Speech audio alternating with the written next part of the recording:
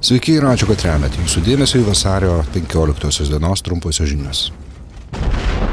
Latvija, kaip ir kitos Baltijos valstybės, pastaruoju metu aktyviai stiprina savo gynybą. Gynybos ministrė Inara Murniece pareiškia, kad nors šalies išlaidas gynybai anksčiau buvo planuojama padidinti iki 3 procentų nuo bendro vidaus produkto iki 27-ųjų, šiuo metu svarstoma tai padaryti anksčiau.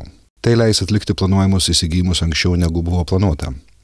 Šiais metais Latvijos gynybos išlaidos siekia apie 1 milijardą eurų, 2,25 procento nuo BVP. Palyginimui Lietuvoje jau skiria gynybai daugiau nei 2,52 procento nuo BVP, tačiau esant reikalui gali skolintis papildomai, jei bendros išlaidos gynybai neviršis 3 procentų nuo BVP. Pagrindiniai Latvijų planuojami įsigijimai yra šie. Iš norvegų kompanijos Kongsberg planuojama pirkti kranto gynybos priešlaivinės raketas Naval Strike Missile.